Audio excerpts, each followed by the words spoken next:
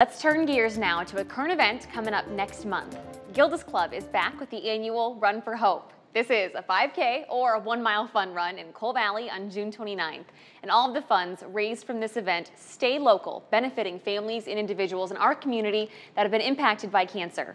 Now, there are also options for people who want to support but maybe don't want to run. So joining us now in studio is Lexi Bull with Gilda's Club Quad Cities.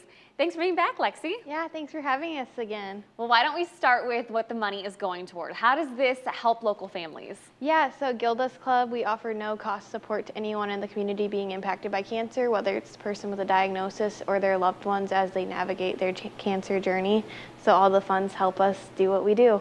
I love it. Not only does the money go to help them though, you have a little, what should I say, a little bit of ways to personalize your race experience. yes, yes. Um, so you can wear custom bibs. So you can take a photo of, say for example, my grandpa had lung cancer. If I were running, I would wear a picture of my grandpa on my back oh, to cool. say that I was running for him.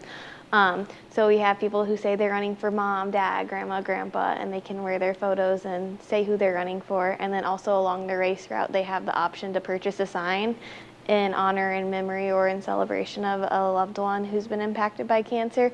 And as you could see in the picture, we had them all up the hill last year, and our goal this year is to fill the whole route with them. Oh my gosh, and people take those home at the end too. So. Yep, yep, they get to take them home and put them in their front yard and kind of show off their loved one.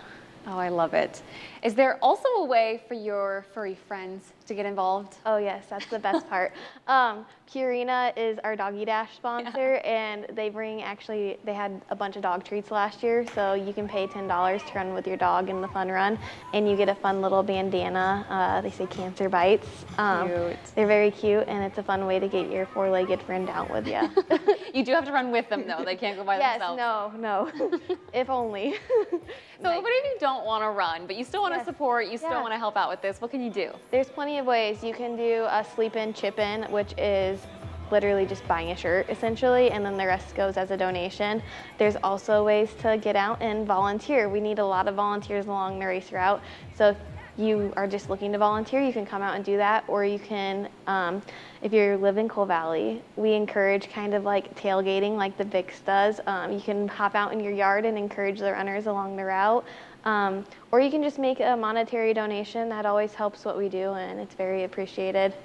This is the second year in Coal Valley, right? Yes, we're very fortunate to be out there. What was it like last year? Last year it was great. We had over 200 runners. Um, the city is so, the village is so supportive of us. Um, police and fire and the Rock, they all donate their time to help us, and it was a great day. Breakfast is served afterwards. Mm -hmm. um, we're gonna have some kegs this year afterwards available oh. too. So it's a fun time, and then we do an awards ceremony afterwards as well. And you guys are really busy because you've got something going on the day before.